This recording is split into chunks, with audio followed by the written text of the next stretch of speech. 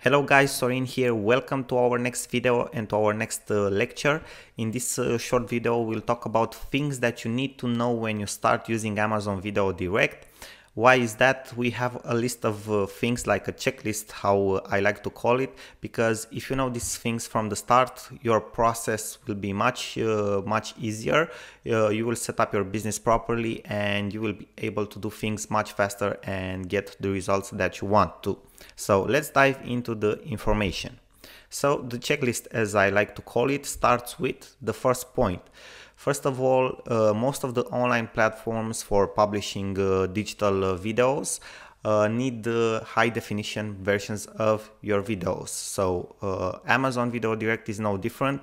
Uh, for example, on YouTube, you can publish any type of video that you want, but on Amazon Video Direct, because people will pay for uh, for seeing ads on those videos, or they will actually pay to buy or rent those videos. Uh, you need to create them in the best quality version that you can possibly do. So that is from high definition and going upwards. So this is the first thing that you need to know.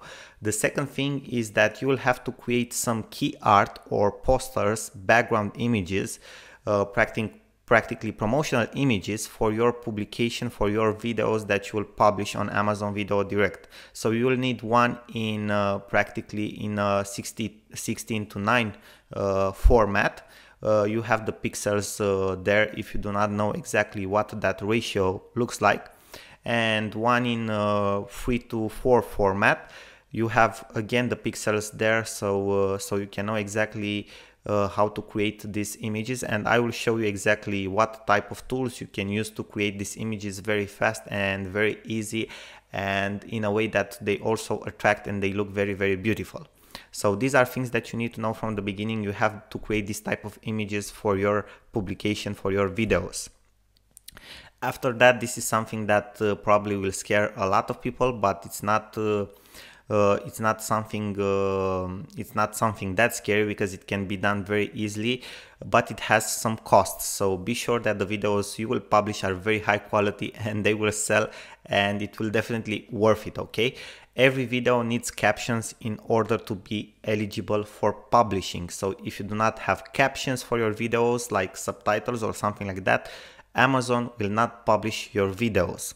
Uh, now, for most of the services that uh, you will see that are out there online, one minute of published, one minute of captions uh, practically is somewhere at one dollar. Okay, so there aren't huge costs, but there are some costs if you have like a, uh, I don't know, a 75 minutes course, you will need to pay $75 to create those captions if you do not want to create them for yourself.